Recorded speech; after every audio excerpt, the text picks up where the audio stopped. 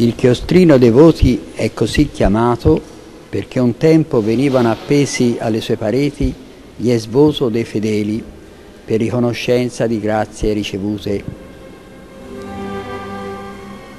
Fu costruito in puro stile rinascimentale da Antonio Manetti nel 1447 su disegno di Michelozzo.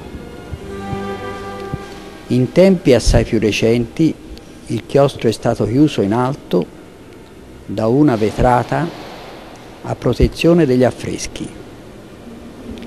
Tuttavia il degrado dovuto all'azione del tempo e degli agenti atmosferici ha obbligato al loro distacco dalle pareti e alla loro ricollocazione dopo la sistemazione su idonei supporti. Con la natività di Alessio Baldovinetti comincia la serie di affreschi che ornano le pareti del chiostrino dei voti. Quest'opera del 1460-62 precede di mezzo secolo le pitture di Andrea del Sarto e mostra più evidenti i segni del decadimento pittorico. Va aggiunto che il Baldovinetti adottò per questa opera una tecnica che sarà usata anche da Leonardo nell'ultima cena e che consiste nel completare l'affresco con l'uso di colori a tempera, assai più soggetti degli altri al degrado ambientale. La scena è notevole per l'amplissimo paesaggio che si apre dalla parte sinistra e che rivela nel Baldovinetti un'influenza da parte di Piero della Francesca. Abbiamo poi la prima delle scene che illustrano la vita di San Filippo Benizzi. Il santo, nato nel 1233 e morto nel 1285, prima medico, entrato poi nell'ordine dei servi di Maria, ne divenne generale e ne favorì la diffusione in tutta Europa. Questa prima scena è opera di Cosimo Rosselli, un pittore che godé ai suoi tempi di molta fortuna e considerazione, ma che la critica moderna non solleva al di sopra del livello di mediocre illustratore di storie. La scena ci presenta il momento della vocazione del santo alla vita monastica, come appare nella parte sinistra e della sua vestizione con l'abito dei serviti, rappresentata dalla parte destra.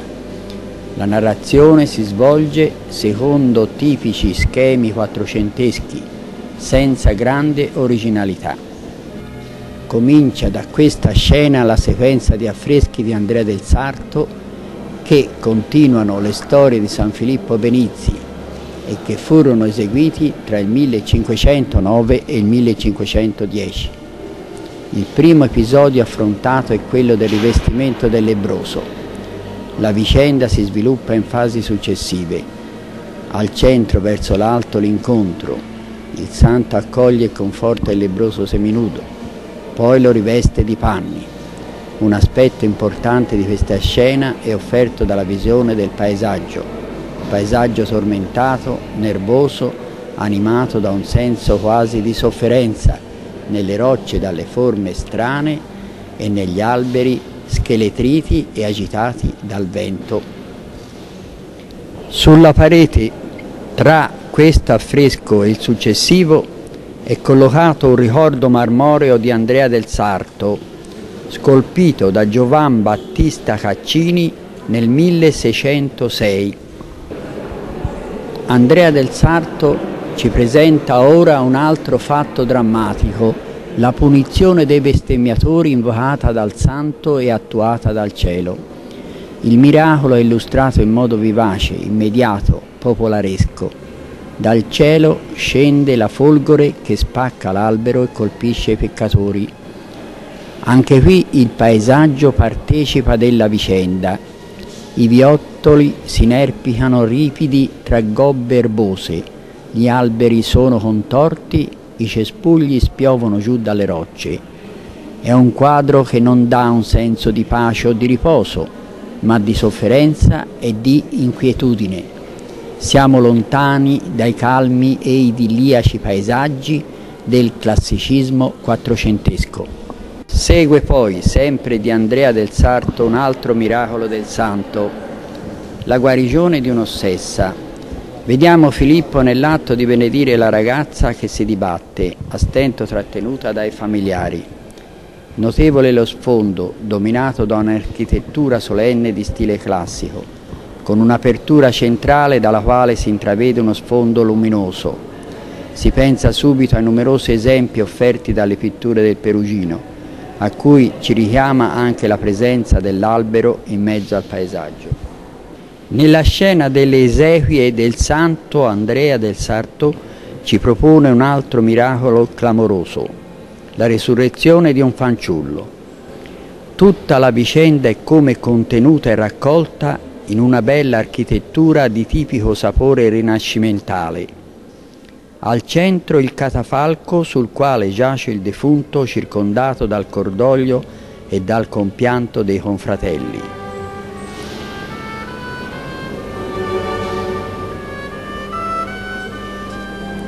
In basso la scena della resurrezione del bimbo vista in due momenti successivi Prima il piccolo giace morto, poi si rialza prodigiosamente tendendo la manina al santo come per ringraziarlo.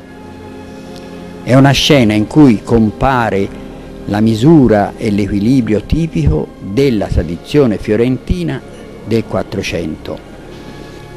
Con la scena della guarigione di un fanciullo toccato con le vesti del santo si conclude il ciclo delle storie di San Filippo Benizzi, illustrate da Andrea del Sarto. Anche qui il pittore riprende la disposizione ambientale della scena precedente. Un'abside monumentale abbraccia il gruppo dei personaggi che partecipano al prodigio. Il miracolo si rivela con misurata compostezza nei loro diversi atteggiamenti. Nella figura a destra di chi guarda e che rappresenta un vecchio che si appoggia al bastone, la tradizione indica Andrea della Robbia. Terminato il ciclo dedicato a San Filippo Benizzi, Andrea illustrò due delle cinque scene delle storie della Vergine. La prima di esse, del 1511, si collega idealmente al presepe del Baldovinetti, affrescato nell'altro lato della stessa parete del chiostro. Si tratta della scena del corteo dei magi. Qui vediamo delle notevoli novità rispetto alla tradizione quattrocentesca. I magi sono colti nel momento del loro arrivo e sono disposti su una linea diagonale che rappresenta una rottura dello schema usuale che voleva la composizione centralizzata.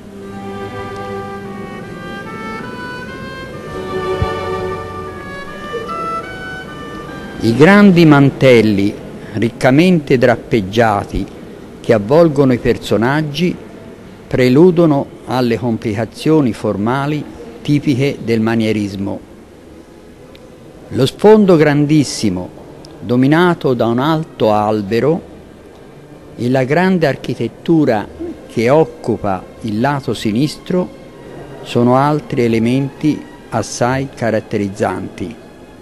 Nell'insieme è facile notare un'atmosfera mutata e diversa rispetto alle storie di San Filippo. Arriviamo così alla scena più importante di tutto questo ciclo di affreschi di Andrea del Sarto. Questo è un vero capolavoro del periodo centrale della sua attività. La pittura risale al 1514 e rappresenta la nascita della Vergine. La scena ha un'impostazione monumentale, cinquecentesca, e il confronto e le diversità con la pittura del Quattrocento si fanno qui sempre più evidenti. Basterà confrontare questa con l'analoga scena dipinta dal ghirlandaio nell'abside di Santa Maria Novella. Molto bella è la descrizione dell'interno di una casa fiorentina, con molti particolari utili ad una ricostruzione ambientale e di costume. Notevole soprattutto l'atmosfera che sembra avvolgere tutte le figure. Sulla destra abbiamo l'immagine di Sant'Anna a letto dopo il recente parto e circondata dalle cure di alcune donne.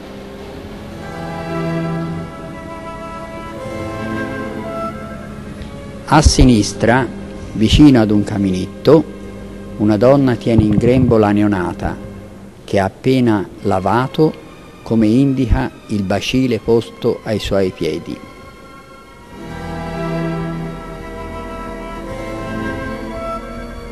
Sullo sfondo, seduto su una tipica cassapanca fiorentina, c'è la figura di un uomo pensieroso, certamente il padre Gioacchino. Ma tutti questi personaggi sembrano quasi passare in secondo piano per il prevalere delle due figure centrali, le due donne maestose e gentili, elegantemente vestite, certamente venute a far visita alla puerpera. Esse sembrano muoversi con sicurezza e attirano l'immediata attenzione di chi osserva. In una di esse si vuole riconoscere Lucrezia del Fede la difficile moglie dell'artista.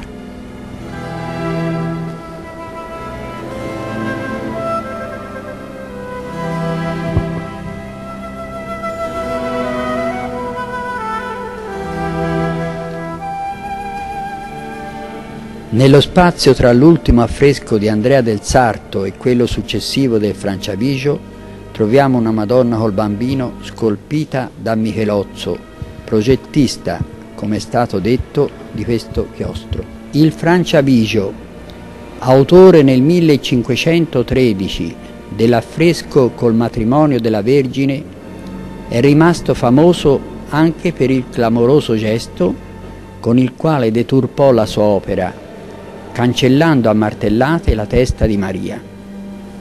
L'iracondo pittore reagì in tal modo ai frati che vollero vedere il dipinto prima che questo fosse del tutto terminato e contrariamente ai suoi voleri ne sollevarono il riparo che ne impediva gli sguardi curiosi. Nessun altro pittore volle rimediare al malfatto e l'opera è rimasta per sempre così mutila. La scena è in realtà molto interessante per le novità che anche il Franciabigio apporta muovendosi nel solco del primo manierismo fiorentino. La composizione è assai lontana da quell'ordine armonioso che troviamo in un'altra opera dello stesso soggetto e precedente a questa di una decina di anni, il matrimonio della Vergine di Raffaello. Qui la scena è movimentata, le figure sono disposte su vari piani e in vari atteggiamenti. Lo sfondo è occupato dalla mole imponente del Tempio di Gerusalemme.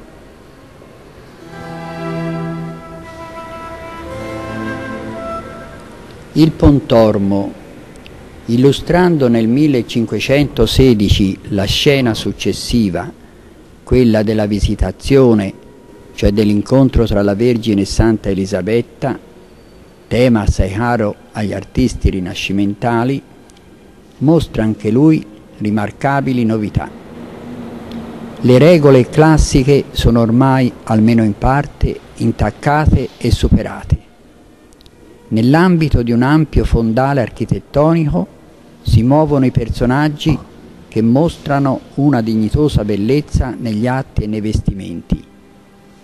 Ciò appare soprattutto nelle due figure centrali. I colori sono caldi e vibranti, ma alcuni volti hanno un'espressione fissa, quasi allucinata, come il giovane che è sulla destra.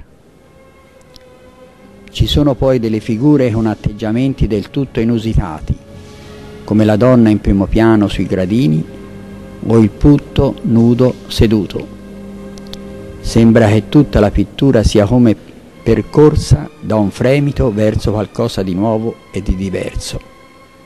Si opera ancora una volta una rottura con la tradizione che aveva imperato fino a quel tempo.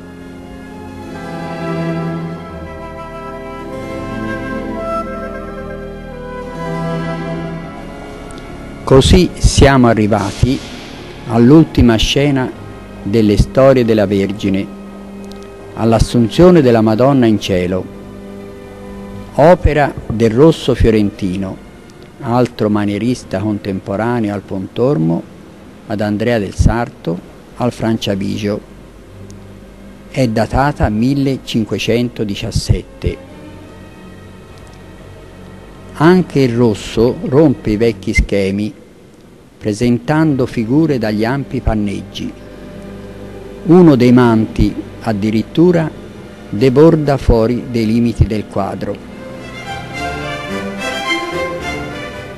La scena si sviluppa su due fasce. In alto la Vergine sale al cielo, circondata da una nuvola turbinosa in cui si affacciano figure di irrequieti angioletti. Un braccio della Vergine si protende verso gli Apostoli, quasi cenno di saluto e di conforto.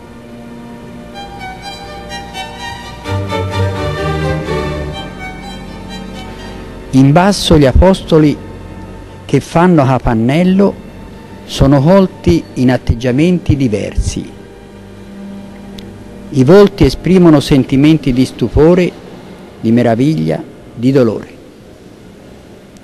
Ma ci sono figure rivolte di schiena, opposte in scorcio, volti levati in alto e volti con, quasi, con tratti quasi caricaturali.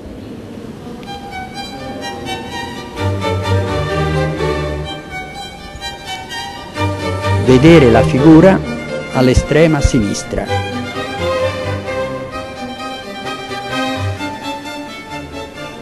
Tutta la rappresentazione sembra mossa da una ventata di agitazione e di vitalismo.